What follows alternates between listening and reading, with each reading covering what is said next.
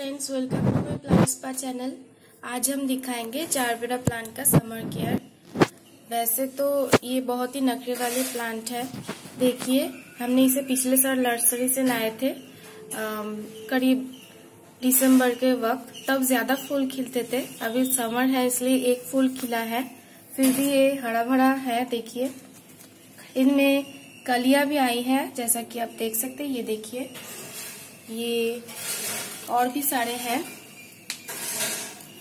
और इसका देखिए, इसका एक ही, इसे प्लांटेशन का एक नियम है, वो है कि इसका क्राउन ऊपर रहना चाहिए। जैसा कि आप देख सकते हैं, इसका जो क्राउन है, ये ऊपर है, क्योंकि जारबरा प्लांट का जो कली और पत्ते ये सब आते हैं, ये सब क्राउन से ही उठते हैं। जैसे कि ये वाला जो कली है, देखिए क्राउन से ही उठे हैं।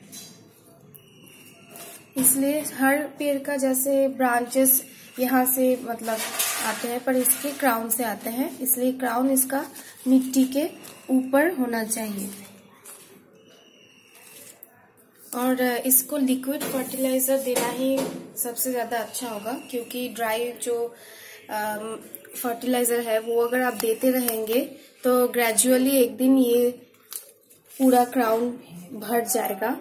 पर इसलिए इसका लिक्विड फर्टिलाइज़र ही अच्छा है और इसके लिए इसका जो सॉयल होना चाहिए, वो बहुत वेल ड्रेन्ड होना चाहिए, वरना इसका जो जड़े हैं अच्छे से फैलाएँगे नहीं।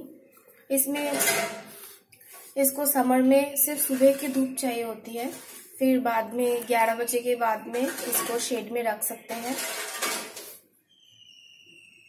ये देखिए, और एक कली आई है।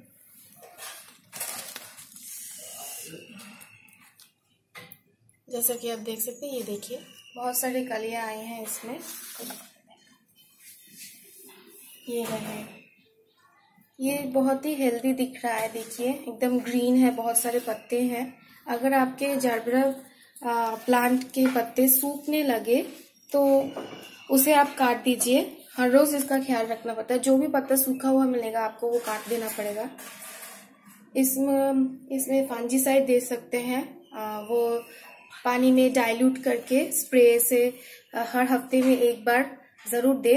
आप इस बात का इंतज़ार ना करें कि कब ये इन्फेक्ट हो इन्फेक्शन होगा इसमें, फिर हम देंगे। पहले से ही केयर लेंगे तो आपको ज़्यादा परेशानी नहीं होगी, क्योंकि जागरा बहुत नाजुक प्लांट है। अगर एक बार इसको कुछ इन्फेक्शन हो गया तो बचाना बहुत मुश्किल होता है। वैसे ये बहुत ही खूबसूरत है, देखिए। ये मेरा हाइब्रिड है।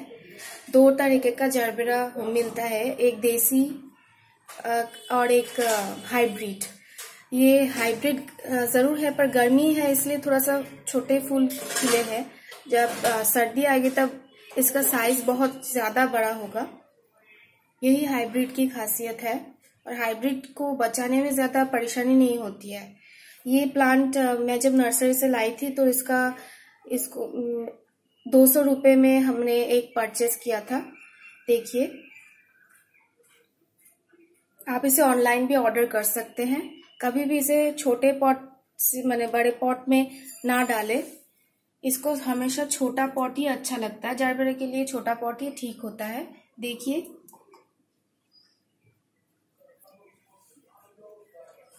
ओके थैंक यू फ्रेंड्स अगर आपको कोई सवाल करना है तो आप कमेंट सेक्शन में कमेंट कर सकते हैं। Thank you